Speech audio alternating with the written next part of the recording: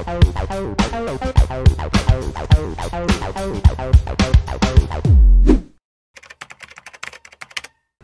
what's up guys? I want to show you the Shimano Current Sniper Jig. I use these jigs all the time for vertical jigging suspended fish that are near the bottom. They're excellent for black sea bass. I much prefer jigging these as opposed to fishing with bait. Uh, they're great for bluefish, striped bass as well, and false albacore and bonita. They'll basically catch fish all over the country.